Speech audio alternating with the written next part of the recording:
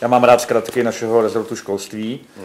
takže na KAP 2, naplňování krajského akčního plánu rozvoje vzdělávání Libereckého kraje. To, co je na tom zajímavé, že se v rámci toho významně podpoří eh, technické vzdělávání, robotika, eh, nekonvenční technologie a díky tomu projektu který je dohromady za 130 milionů korun, se budou nakupovat také vybavení stroje a zařízení. Eh, za 40 milionů korun děti budou moct chodit v rámci exkurzí do různých firm v kraji, do středních škol a podporu vlastně finanční v rámci toho získá také Equalandy a Krajská vědecká knihovna. Vychází to vlastně uh, z konkrétního projektu jedničky, což je naplňování Krajského akčního plánu 1. To je zaměřené na uh, teďka čtyři aktivity, nyní v dvojce bude sedm aktivit.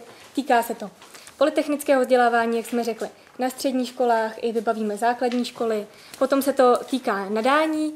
Jako jediný liberecký kraj jsme si vzali aktivitu nadání, a budeme spolupracovat se čtyřmi pedagogicko-psychologickými poradnami.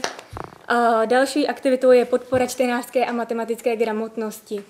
To zapojíme knihovnu vědeckou, tam budou školení pro pedagogy, aby lépe porozuměli čtenářské gramotnosti a dokázali žáky pomoci namotivovat a učit čtenářskou gramotnost, protože víme všichni, jak je to se čtením a problematick, problematickým vztahem knihovna, škola, rodina takže tyhle prvky by měly být všechny propojeny. A v rámci matematické gramotnosti vzniká nová expozice v Equalandy, a to je matematikum. Mělo by zodpovědět taková ta kritická místa v učivu, mělo by být až 140 návštěv.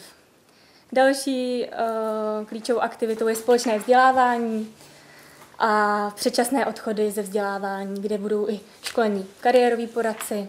Takže to je taková klíčová aktivita nejvíc asi polytechnické vzdělávání na středních školách.